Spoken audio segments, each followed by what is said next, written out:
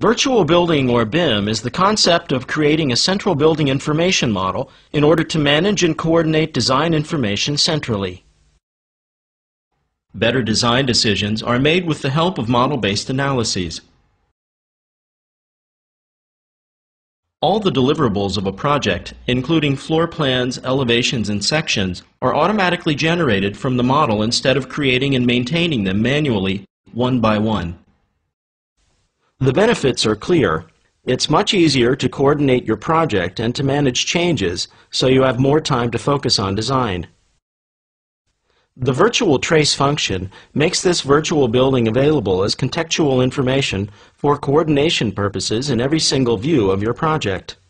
If you are working on the floor plan of your building, it is much easier if you can create and edit the floor plan in the context of a corresponding section, which automatically shows the implications of the changes.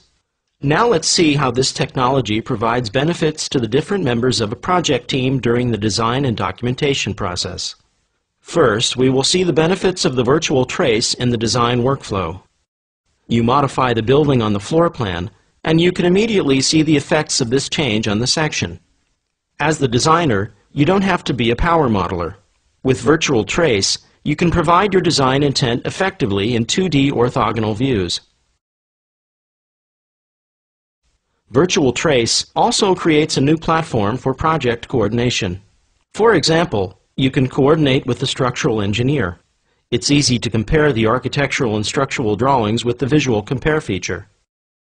With the slider, it is very easy for you to spot any discrepancies in the design of the load-bearing structure of the building.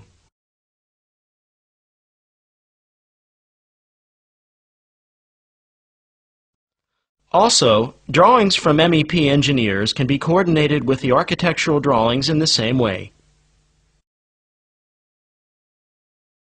As you can see, this type of coordination can be done between the trades as well as within the architectural team. Virtual Trace also provides great help in the creation of high-quality documentation. Virtual Trace keeps your 3D model live for coordination purposes even in the late phase of the detailed construction documentation. In this example, you keep your model section live while you edit a copy of it to create the detailed section. If the design changes, for instance the story height needs to be changed, it is very easy for you to update your detailed section through coordination with the model. As the draftsperson, you can edit the worksheets without having to touch the model. This workflow combines the benefits of the virtual building with the flexibility required to create the detailed documentation of your projects.